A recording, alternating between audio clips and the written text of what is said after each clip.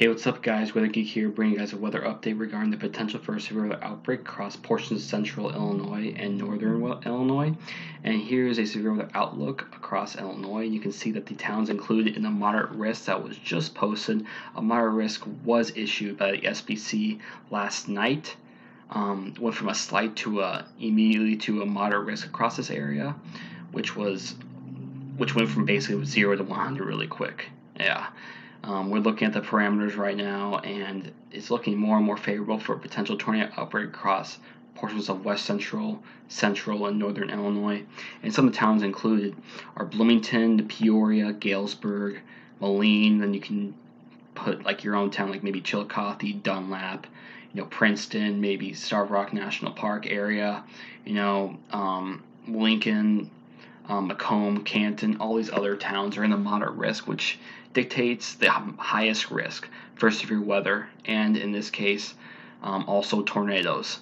Um, there's also a big hail risk, and there's also a damaging wind risk, but right now we're looking at a potential tornado outbreak here.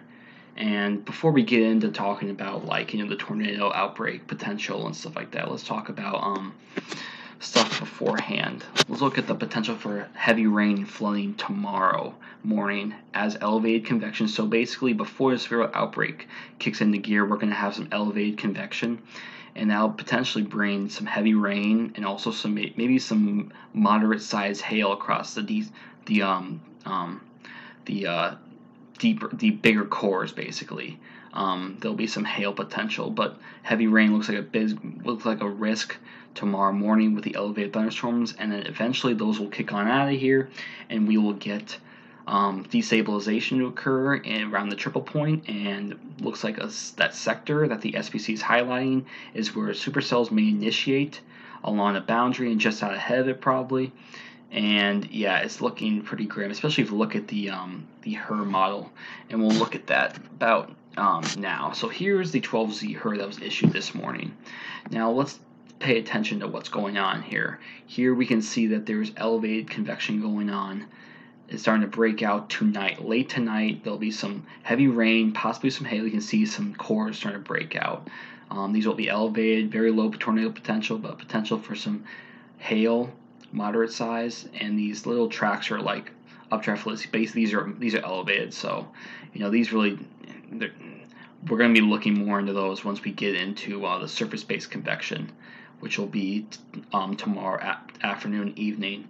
This stuff will kick on out of here, bringing probably about an inch of rain and more to areas, other areas, more elevated convection early to mid tomorrow morning, and you can see it'll clear, and then we'll get some supercells to break out in the warm sector and where there was destabilization. And what it looks like the HRRR just goes bonkers and looks like a November 17, 2013 type look when you have a line of supercells and all these like tracks right here are updraft helicities and this is in one hour, not three hours. Look at the distance that this travels. I'll I'll zoom in for you guys. Um, let's go to Northern Illinois. Think weather.cod has a convenient sector um, for Northern Illinois. It was probably because it was made in College of DuPage, so of course you got to highlight Illinois. Um, but you can see right here, look at the distance he's traveling in one hour. You go from here to here, that's in one hour. This as well, that as well. These storms are going to be absolutely rocking northeastward, probably at high wave speeds. So if you're going to be planning on chasing them, be prepared for very fast storm motions. And also, you got to worry about other storms around them. You got to worry about significant tornado potential. Um, so it's going to be a pretty messy um, I feel like they're I've been seeing Storm Chasers going to be making the drive to Illinois, and that's their choice. You know, my choice is I'm going to stay here probably, and if there's something local, I might go see it. But this is looking pretty darn dangerous, and also with like the um, pandemic going around. Um, it's not very wise, in my opinion, to go out, especially since I'm not really the highest skill storm chaser. You know, for people that are high skill, great, go. We need you guys to go out there and report to National Weather Service about the tornado potential. That we need you guys. But for amateur storm chasers, you know, you're gonna have to find a really good note road network. Gonna have really good knowledge of the area you're going in and also where to go and the motion of storms and you know there's all this other stuff you know and also keeping distance from others so there's a lot of stuff to keep in mind you know but you can see the um, the um, you can see the H triple R or her. You know, I don't care how I pronounce it, but normally I do her or do H triple R just to be funny or something like that. You know, but it looks like a line of supercells advances eastward, and you know it's bringing you know some supercells into my area. The SPC issued a moderate risk, and you can see the supercells keep going into this area, and it cuts off at that point. But more than likely, this, these cells will be moving eastward, and there'll be less instability. The instability will be waning, so I there's still a tornado risk as you head east of Bloomington, but not as great as over here, in my opinion. And the SPC shows that. Um, so, what else are we going to look at? Uh, yeah, we're going to look at a sounding. I think I have it pulled up right here. Um, no, I have it here at Pivotal. Here's some sounding from the HRRR. This is around, I think, south of Tazewell County. Um, tomorrow afternoon, evening, you can see that there is a lot of cape, a lot of moisture, and really a lot of shear. You can see storm relative helicity values 355, 429. That's pretty darn high. And also surface cape values of 3100. You need cape to get thunderstorms and severe thunderstorms. So we have a good amount of cape. We have a lot of shear.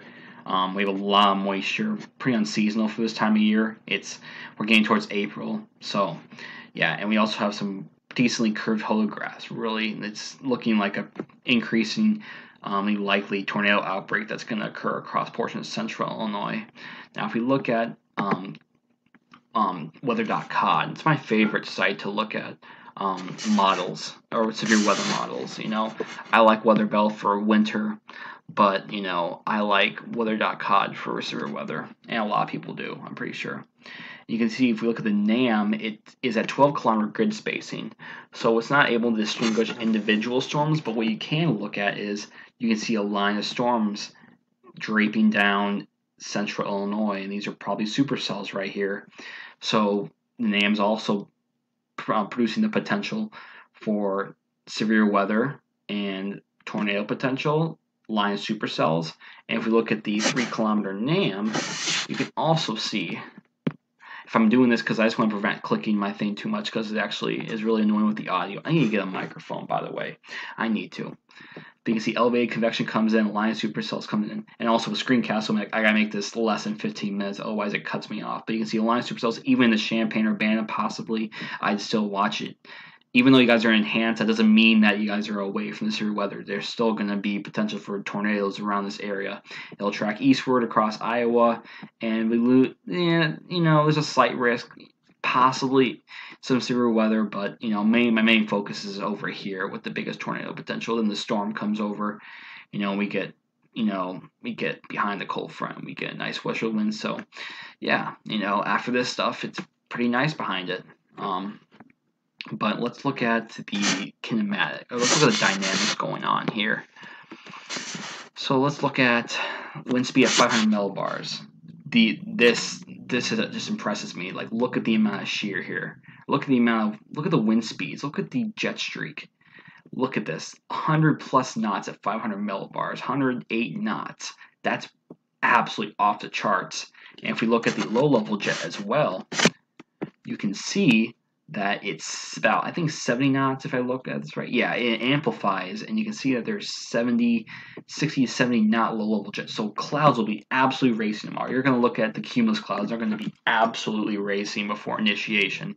It's going to be one of those days. It's going to be a rough one.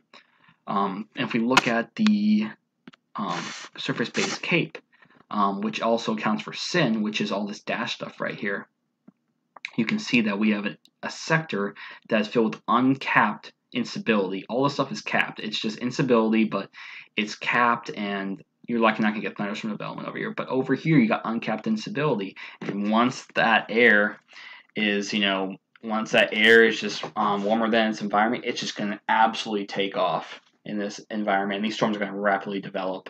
And then it tracks eastward. We lose some instability, but still remain tornado threat across this cold front just out ahead of it. Um, you can see it just keeps weakening as we head eastward. But we also look at um, significant tornado parameter, which takes into account helicity, wind shear, um, instability, and you can see the, values are pretty darn high.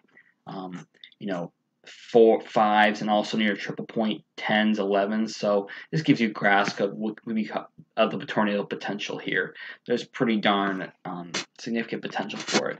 And supercell composite, you can see. Um, see if it loads. Pretty darn high too. You know, you're in the reds and pinks. You're getting up to the tens and fifteens. Exceeding that, you're getting pretty darn um, you're getting pretty darn decent um, supercell environment.